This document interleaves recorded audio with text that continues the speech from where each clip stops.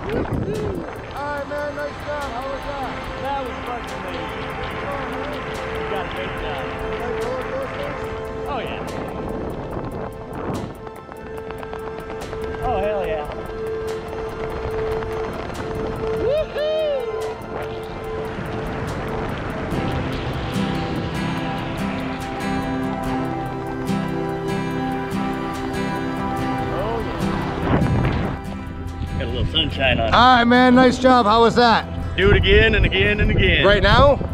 Always. Uh, all right. well, thanks for coming out to Skydive Amelia Island. We'll see you next time. Thank you. It was great.